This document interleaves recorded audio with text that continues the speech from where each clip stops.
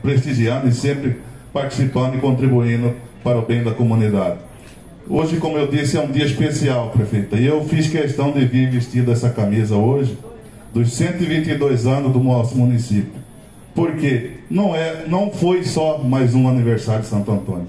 Eu acho que foi o, esse aniversário de 122 anos de Santo Antônio vem coroar tudo isso que, de bom que vem acontecendo no nosso município. Né? Nós construímos aí um amadurecimento político, Peró, nesses 122 anos. Chegamos aqui hoje com uma Câmara Municipal unida, um parlamento atuante, onde todos buscando a melhoria para as comunidades e para o município, somando esforço junto com a nossa prefeita. E aí essa grande administração que não tem medido esforço e que tem se feito presente em todos os cantos do município. Então a gente fica feliz, fica contente e, e é prazeroso poder andar para o nosso município hoje e ver as coisas acontecendo, ver que a gente tem condições, tem capacidade de entregar resultado para a nossa população.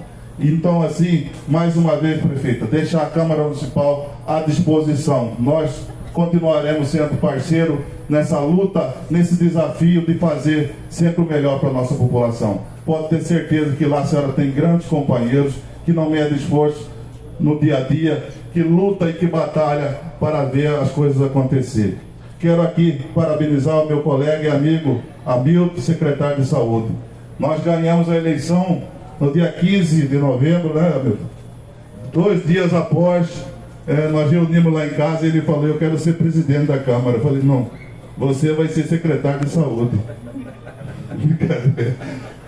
E eu vi que eu não estava errado, né? Grande secretário. A brincadeira à parte, o Hamilton já tinha sido secretário outras vezes. E é notável o seu trabalho, a saúde antes do Hamilton e a saúde após o Hamilton. Esse grande trabalho que você vem fazendo na saúde, nos quatro cantos do nosso município. Já reformou a de Saúde do Mimoso, de Porto de Fora, aqui entregando hoje. E são várias outras ações que você vem desenvolvendo com maestria na Secretaria de Saúde. Então a gente só tem a parabenizar e dizer que continue contando também com o nosso apoio. Parabéns à comunidade agrovila que recebe esta obra importante, uma belíssima obra que eu tenho certeza que vai trazer qualidade de vida para esta comunidade, para esta população. Parabéns e um grande abraço a todos. Aí as palavras do nosso presidente da Câmara, vereador Robinho. Alô, Milton. Cadê o Milton? Bateria, bateria. Repara aí, Milton.